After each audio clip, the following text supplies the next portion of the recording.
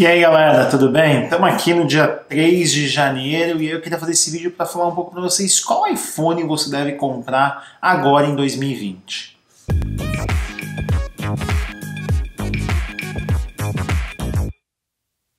Tá cada vez mais difícil escolher qual iPhone comprar, né? A Apple agora tem seis modelos à venda e para poder facilitar um pouco a tua escolha, decidi fazer um, um, um ranking aqui chamado Edu Score na qual eu vou dar notas para cada funcionalidade e vou explicar para vocês a diferença de cada um dos iPhones é, que são vendidos hoje pela Apple no mundo inteiro.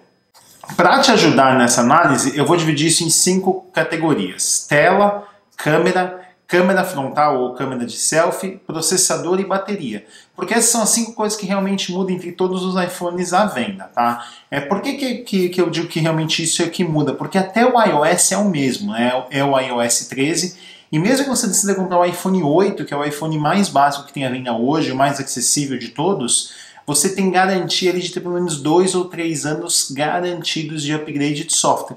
Então você vai pelo menos até o, até o iOS 15, 16 é, com uma certa tranquilidade. Se você pensar, o, o, iOS 15 vai ser lançado em 2021, o iOS é, 16 em 2022. Então, quer dizer, você tem alguns anos ainda de atualização é, é, garantida pela Apple nesses aparelhos, tá? Se você olhar pelo histórico da Apple, é, cada iPhone lançado fica em torno, né, cada processador fica em torno de seis anos recebendo atualização de software, aquele mesmo processador. É, o A11, que é o processador que está no, no, no iPhone 8 hoje, ele tem dois anos de idade, né? Então, assim, é um, é um processador que com certeza vai ter pelo menos mais três anos de atualização. Então, mesmo comprando um iPhone 8, que é um telefone de uma geração bem mais antiga, é, você tem uma garantia de, de, de ter upgrades de software constantes ali. Então vamos lá, vamos, vamos ser direto e reto. Então vamos falar do iPhone 8. Né? O iPhone 8 é o telefone que tem a menor tela, tem uma tela de 4.7 polegadas, tem uma única câmera traseira de 12 megapixels, com uma lente wide, tem uma câmera frontal de 7 megapixels. Ela tem um, ele tem um processador A11, que é o processador mais antigo à venda hoje, e tem a menor bateria de todas, tá? Com todos esses pontos técnicos e pelo Edu Score aqui, tá? O iPhone 8 ganha 12 estrelinhas ao todo, 12 pontos totais. Então vamos falar do iPhone 8 Plus. Né? O iPhone 8 Plus tem uma tela de 5.5 polegadas, maior do que do iPhone 8. É, tem uma tem câmera dupla traseira, uma câmera telefoto, né? uma câmera de zoom de duas vezes e uma câmera é, é wide como do iPhone 8 tem uma, uma, uma, câmera de selfie igualzinha do iPhone 8 com 7 megapixels, tem o mesmo processador e tem uma bateria que dá mais ou menos uma hora, uma hora e meia a mais que o iPhone 8. Então tem uma bateria um pouco melhor.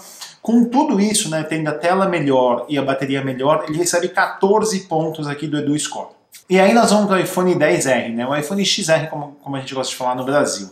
É, o iPhone XR, né, o 10R, ele tem, na verdade, é, o primeiro design ali é total tela da Apple, né? Então ele tem o mesmo design é, que, foi, que foi lançado com o iPhone 10, mas ele tem uma tela de 6.1 polegadas que é maior do que a do iPhone 10, uma tela um pouquinho maior que a do iPhone 10, mas é uma tela de LED, tem uma câmera traseira única, é, como o iPhone 8, uma câmera única traseira, tem é, uma câmera de selfie também de 7 megapixels, mas essa câmera de selfie é capaz de fazer 60 quadros por segundo, que o iPhone 8 não conseguia fazer, e também tem um negócio chamado True Depth, que é o que? Já que ele tem o Face ID, o iPhone 10R, ele consegue fazer aquele modo retrato mesmo usando a câmera de selfie é, frontal. Tá? Então isso é uma coisa bem bacana para quem gosta de fotografia.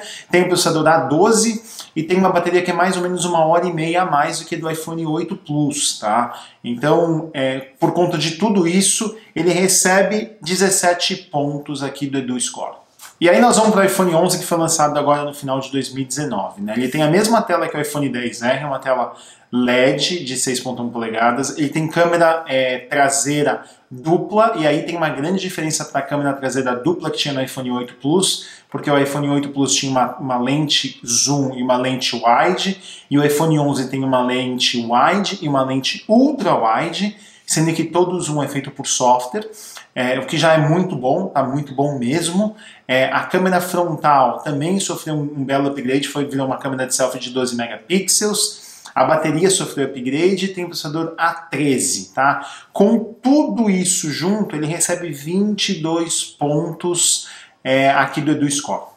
E aí nós vamos para o iPhone 11 Pro. Né? O iPhone 11 Pro tem o 11 Pro e o 11 Pro Max e a única diferença realmente técnica entre os dois é a tela. Então no Pro você tem uma tela que é um pouquinho menor que a tela do iPhone 11, uma tela de 5.8 polegadas, mas ela é OLED, e aí no iPhone 11 Pro Max você tem uma tela de 6.5 polegadas OLED também. Os dois têm uma câmera tripla traseira, sendo uma lente telefoto, né, uma, tele, uma lente zoom de duas vezes, uma lente wide, uma lente ultra wide, tem uma câmera de selfie de 12 megapixels que faz é, é, filmes em 4K e também é, faz é, 60 quadros por segundo, então faz slow motion usando a câmera de selfie.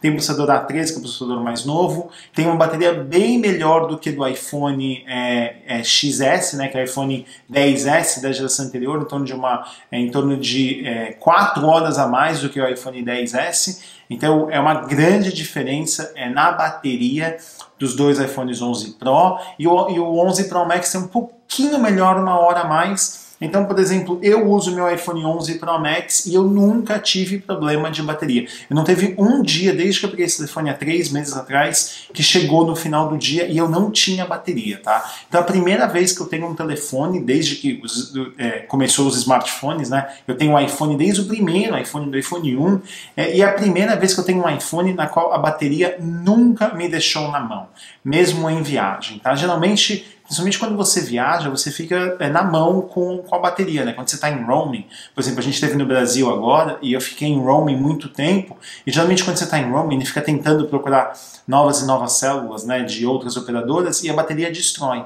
E mesmo assim, eu não tive problema nenhum com a bateria do meu iPhone 11 Pro Max, tá? Então a bateria está realmente fantástica e por isso eu dou 5 estrelinhas para tudo. Não tem nada no iPhone 11 Pro Max que eu não gosto, tá? Então assim, 5 estrelinhas para tudo, então 25 pontos para os dois. E aí você escolher entre o 11 Pro e o 11 Pro Max é simplesmente o tamanho da tela, é preferência pessoal. Não tem nenhuma diferença técnica entre os dois aparelhos. E aí depois que eu falei para vocês todas as especificações técnicas e coloco essa tabelinha aí na tela, né, na qual eu tenho todos a, a pontuação e eu tenho cada um dos itens como tela, câmera, câmera de selfie, processador, bateria, com esse quadro total de estrelinhas pelo EduScore para te ajudar a escolher o que é melhor para você, porque assim, o que é bom para mim pode não ser bom para você. Eu ligo muito para a câmera do celular e eu ligo muito para a bateria. Então, por eu querer muito a câmera e a bateria, o, iPhone 11 Pro é a solução ideal para mim. Agora, se você não liga tanto para a câmera e você liga para outras coisas, como por exemplo, upgrade de software e tudo mais, você pode até comprar um iPhone 8, né? E aí agora chega o ponto decisivo que vai te ajudar a tomar a decisão, que é o preço, né? O preço é o que pega no final e você tem que fazer uma análise sua, é, com o tanto de dinheiro que você tem, qual especificação técnica você dá mais valor para você escolher qual o melhor telefone para você. E aí a gente chega nesse quadrinho aí, que é o quadrinho do preço com as estrelinhas. Então a gente começa com o iPhone 8 por R$ 3.399 aí no Brasil, chegando até o 11 Pro Max por R$ 7.599. É óbvio que existem variações da, da, memória interna, né, de 64 até 256 ou até 512 nos iPhone 11 Pro Max, é, que é um exagero, não vejo a menor necessidade disso para ninguém, mas tá aí as opções com a menor configuração e para te ajudar a tomar decisão. Para fechar esse vídeo, eu queria deixar o seguinte ponto: é, se você é, realmente o que você quer, a experiência do iPhone, qualquer um deles vai te atender. Tá? A, o, a grande diferença que você tem que entender é o que você quer. A câmera, tanto a câmera do iPhone 8 como a câmera do iPhone 11 atendem a maior parte das pessoas. Né? É óbvio que a câmera do 11 Pro Max é muito melhor, faz muita diferença, é óbvio. Mas você realmente precisa disso? Então pare e pense. Se eu tivesse que comprar um hoje, um telefone hoje, de todos os iPhones, e grana para mim fosse um empecilho, eu tentaria muito chegar no iPhone 10R, tá? No iPhone XR. Porque, na minha opinião, custo-benefício ele está ali no ponto ideal. Né? Ele tem uma câmera traseira muito boa, ele tem uma câmera de selfie muito boa, a bateria dele é muito legal, ele já usa o novo design do iPhone, ele já tem um processador A12, então você vai ter garantia ali de 3, 4, talvez 5 anos de upgrade de software em cima desse telefone. E quando você quiser vender esse telefone no futuro, você vai conseguir é, um bom valor, diferente de você comprar um celular Android, né? Você vai perder muito valor de revenda. Então, essa é a minha, a minha opinião no final. O iPhone 10R é, atende 95% das pessoas, mas é óbvio que vai ter gente que vai querer o iPhone 11, o iPhone 11 Pro Max, como por exemplo foi o meu caso. Eu quis pegar o 11 Pro Max, é, mas eu me importo muito com a câmera e a bateria. Então, para mim, esse, esse ponto foi muito, muito importante para tomar a decisão de pegar o 11 Pro Max. É isso aí, pessoal. Espero que vocês tenham gostado desse vídeo. Se você não é inscrito, se inscreve aqui no canal e até a próxima. Tchau, tchau!